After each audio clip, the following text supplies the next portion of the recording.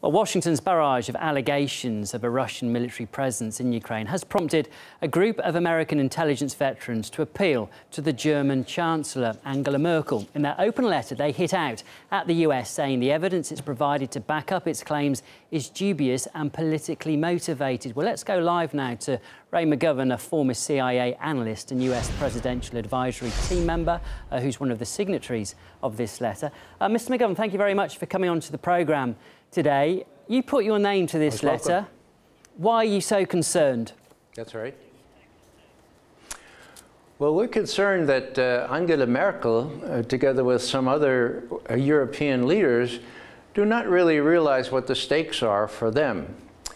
And when this faux intelligence is adduced, uh, fuzzy images from photography and other things which prove nothing, we have a very terrible flashback to the situation 11 years ago when the same kind of faux intelligence was used to justify a war of aggression on the part of the United States and the United Kingdom against Iraq. We see that same thing happening again, and we think that this time the other party is Russia and that people should be aware that Russia will not let its security interests be, be jeopardized by uh, drawing the Ukraine into uh, what, what could be NATO. So, Ray, explain to me how can this happen? Because people might be surprised to hear this coming from someone like yourself. If the intelligence services provide evidence and they say to politicians, look, we don't believe this is viable, how are they then able to use it and, and publicise it in the media?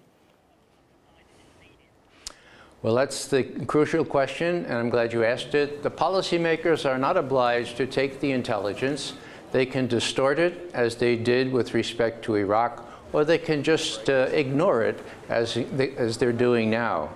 Uh, all this talk about Russian expansionism, there is not one scintilla of evidence that Putin or any other Russian leader ever thought that they would reincorporate Crimea into Russia proper until there was a coup d'etat in Kiev run by the United States and the EU, toppling a regime there which was reasonably pro-Russian uh, and replacing it with a regime that was anxious, eager to uh, move the Ukraine into the orbit of the EU and eventually NATO.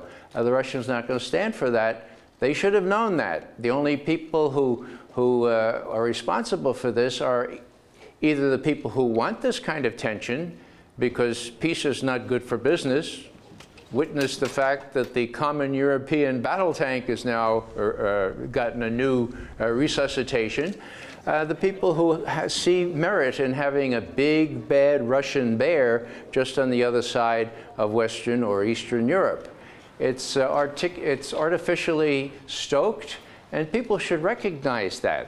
Do you the same people who profiteer on wars Sure. are the people who run the media. Sorry to interrupt there, Ray, but do you not think Mrs. Merkel will be aware of this? Shouldn't her intelligence officers tell this to her? She shouldn't expect to have to get a letter from you, should she? Her intelligence officers are anhänger.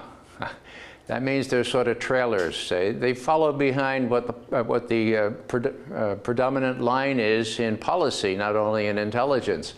Uh, what we think she needs to know is that it's time that West Europe, uh, old Europe, as Rumsfeld called them, needs to grow up, needs to see their own interests as being distinct and often different from those of the United States, particularly when such valuable trade and other economic relationships exist between Russia and Europe that do not exist between Russia and the United States. She needs to step up to that sooner rather than later. Let's just just briefly, Ray, just briefly, just touch on NATO. You made an accusation in your letter that you believe that General Secretary's speeches are drafted by Washington.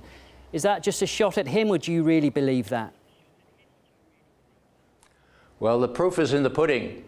One day before the US-UK invasion of Iraq, Anders Fogh Rasmussen, who was Danish prime minister at the time, addressed his parliament, and this is what he said, quote, it is not that we believe there are weapons of mass destruction in Iraq. We know it, period, end quote. Now, where did he get that? He got that from the United States, just as he is getting his material now from the United States. There is not a, there is not a scintilla of, uh, of, of daylight between Rasmussen and Washington, and people ought to realize that. Sure, okay, and I'm sure it will be met with um, firm rebuffals from NATO too. But uh, thank you for your analysis, um, Mr. McGovern. That's Ray McGovern, a former CIA analyst and US presidential team advisor. Thank you.